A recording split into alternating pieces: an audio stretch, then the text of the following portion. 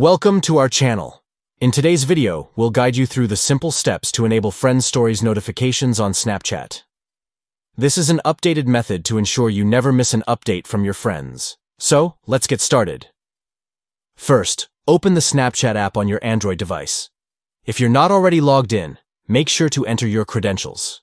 Once you're in the app, look to the top right corner of your screen and tap on your profile picture. This will take you to your profile, where you can manage all your settings. Next, in the same area, you'll notice a gear icon also in the top right corner.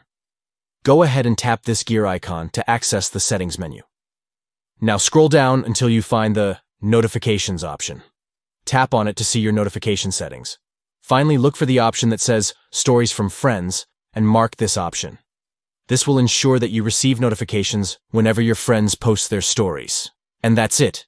You're all set to stay updated with your friends' adventures. If you found this video helpful, don't forget to give it a thumbs up and subscribe for more tips and tricks on social media. Thanks for watching, and happy snapping.